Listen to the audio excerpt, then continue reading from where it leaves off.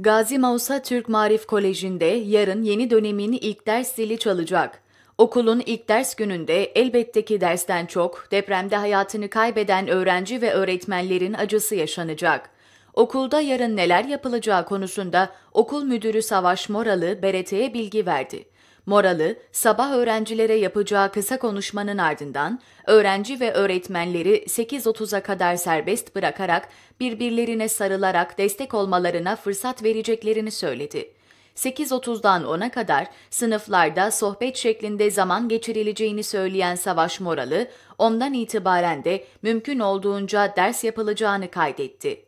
Moralı, sağlık personeli ve ambulansla birlikte psikolojik danışmanların da okulda hazır bulunacağını vurguladı.